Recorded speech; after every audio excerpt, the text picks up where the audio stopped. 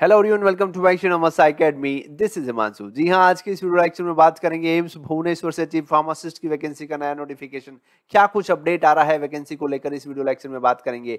Next बात करेंगे national health mission के थ्रू अहमदाबाद म्यूनसिपल कॉर्पोरेशन में दस फार्मासिस्ट की वैकेंसी इस नोटिफिकेशन को भी कवर करेंगे इस वीडियो लेक्चर में। और लास्ट अपडेट जी हाँ आप सभी जानते हैं छब्बीस तारीख है, कुछ ही घंटे रह गए हैं।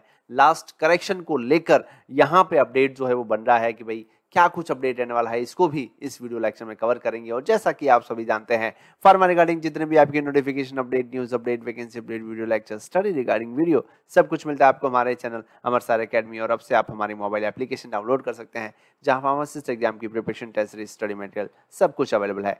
जैसा कि आप स्क्रीन पे देख पा रहे हैं एम्स भुवनेश्वर की ऑफिशियल वेबसाइट में जैसे आप रिक्वायरमेंट बोर्ड पे जाइएगा यहाँ पे आप देख पा रहे हैं रिसेंटली uh, इसी वीक का एम्प्लॉयमेंट नोटिफिकेशन में आया हुआ एक नोटिफिकेशन जिसमें कि काफ़ी सारी मेडिकल पैरामेडिकल वैकेंसी है। हम बात करते हैं सर चीफ फार्मासिस्ट वैकेंसी के बारे में। ग्रुप बी की ये वैकेंसी है सेवन ग्रेड पे की ये वैकेंसी है। अभी हाल ही में कुछ दिनों पहले हमने बात की थी, सर वन वैकेंसी रहने वाली है कि सर, एम्स भोपाल में भी चीफ फार्मासिस्ट की वैकेंसी आई थी। नोटिफिकेशन अपडेट क्या है सर? कौन कौन एलिजिबल होते हैं इसमें? तो यहाँ पे हम सभी जानते हैं सर, ये चीफ फार्मासिस्ट की वैकेंसी है एम्स में। फार्मासिस्ट ग्रेड सेकेंड फार्मासिस्ट और उसके बाद में सीनियर फार्मासिस्ट और चीफ फार्मासिस्ट इस हिसाब से सीनियरिटी के हिसाब से पोस्टें आती है।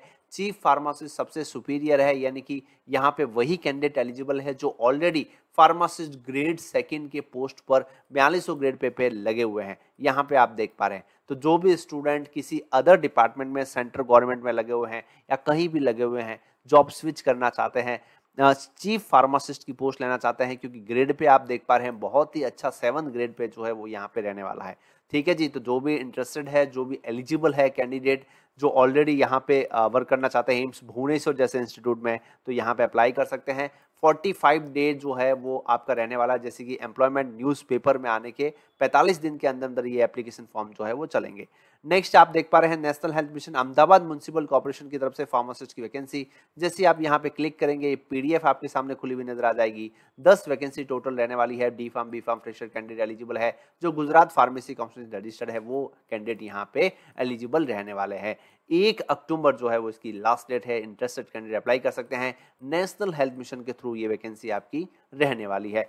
नेक्स्ट टू नेक्स्ट जी हाँ मित्रों, आज जो है वो 26 तारीख है, यानी कि आप सभी जानते हैं लास्ट करेक्शन का डेट आप यहाँ पे देख पा रहे हैं। जैसे आप यहाँ पे क्लिक करेंगे, जो भी आपके नोटिफिकेशन है, यानी कि आपने अगर कोई करेक्शन किया है, अब तक तो शायद सबने करेक्शन कर लिया होगा, जो भी नोटिफिकेशन हमने पहले ही बात की थी सर यहाँ पे टू फिफ्टी जो है एक मॉडिफिकेशन के करने को लग रहे हैं।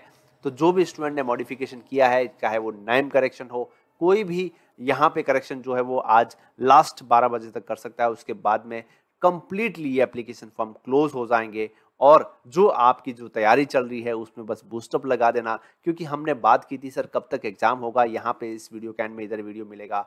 जी हाँ जनवरी से फरवरी तक एग्ज़ाम होने की पूरी पूरी संभावना है। तो जो भी स्टूडेंट इस तैयारी कर रहे हैं रेलवे फार्मासिस्ट की स्क्रीन पे आप वीडियो देख पा रहे हैं स्क्रीन पे आप देख पा रहे हैं स्टडी मटेरियल हमारी मोबाइल एप्लीकेशन पे, जिसकी लिंक डिस्क्रिप्शन कमेंट बॉक्स में है। ये वीडियो चेक करना आपको सब कुछ समझ में आ जाएगा। जी हाँ बेस्ट स्टडी मटेरियल जो आपको रेलवे फार्मासिस्ट की तैयारी में बहुत ही ज़्यादा हेल्पफुल होने वाला है। कंप्लीटली सिलेबस वाइज आपको यहाँ पे मिल जाएगा। कैसा लगा इन्फॉर्मेशन ज़रूर बताएँ कमेंट सेक्शन में लाइक करें शेयर करें सब्सक्राइब करें। और हाँ जहाँ, यहाँ पे यहाँ पे देख पा रहे हैं 633 वैकेंसी कल तेलंगाना में हमने बात की। उसके बाद में 56 वैकेंसी जो है यहाँ पे फार्मा कैंडिडेट के लिए महाराष्ट्र में चल रही है। इस हिसाब से काफ़ी सारे नोटिफिकेशन चालू है। जो भी इंटरेस्टेड है अप्लाई कर सकता है। कैसा लगा इन्फॉर्मेशन ज़रूर बताएँ कमेंट सेक्शन में। लाइक करें शेयर करें सब्सक्राइब करें। Keep watching